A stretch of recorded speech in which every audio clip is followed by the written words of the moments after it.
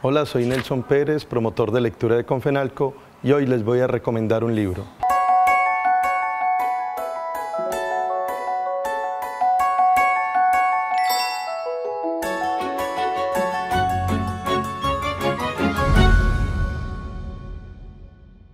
Hay en el cementerio de la ciudad de Casbín una lápida cuya talla representa la terrible escena del asesinato de un olema orante, a quien un enmascarado apuñala por la espalda.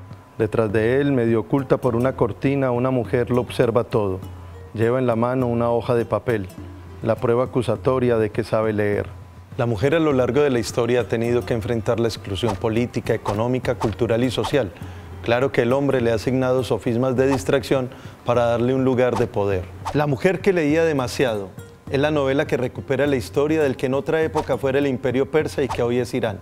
El lector estará tentado a buscar los hechos que agitaron el país musulmán en el siglo XIX, a través de la vida de la poetisa de Casbín, que sirve como pretexto para conocer al Shah o al rey que más tiempo estuvo en el trono, Nasiruddin.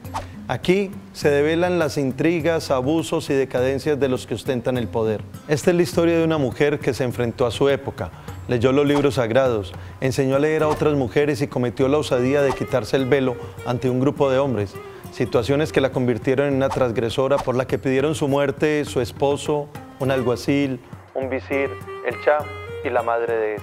Bajiji Nakhabani es la autora de La mujer que leía demasiado.